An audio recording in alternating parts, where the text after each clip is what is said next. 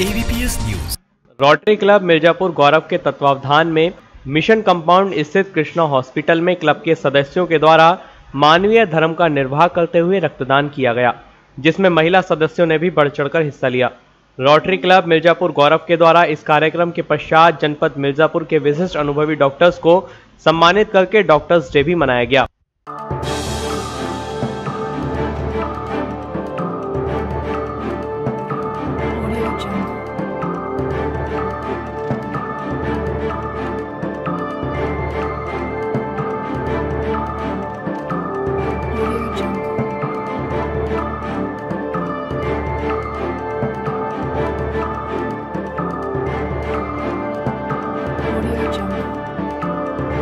तरफ़ से blood donation का कार्यक्रम है जो रोटरी डे पे एक जुलाई को मनाया जाता है।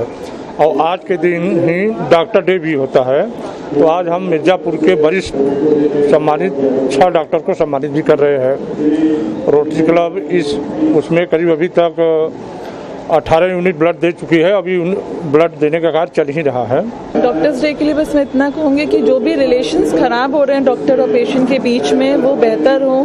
पेशेंट्स को भी अपनी ड्यूटी समझनी चाहिए डॉक्टर्स को भी। कि हमारा धर्म ही सेवा हमारा धर्म है डॉक्टर्स का। वो हमेशा से रहा है और वो रहेगा। आज समाज में कुछ लोगों को ऐसा अविश्वास हो गया है कि हमारा अब धर्म सेवा नहीं है। मैं कहूँगी बिल्कुल गलत है ये। हम आज भी वैसे ही हैं जैसे पहले थे। लोग तहे दिल से मरीजों की सेवा करते हैं और करते रहेंगे। जैसे पहले भी करते थे, वैसे अभी भी करते हैं। और डॉक्टर्स और मरीज़ के बीच का जो पेशेंट रिलेशनशिप है, उसको मरीजों की गरीबी देखते हुए, उनका नीडपन देखते हुए, उस तरह से हम उनको ट्रीट करेंगे, उस तरह से प्रॉपर मेडिकेशन करके उन कुमार श्रीवास्तव मिर्ज़ापुर में बाल रोग विशेषज्ञ के रूप में जो है सेवा कार्य कर रहा हूँ।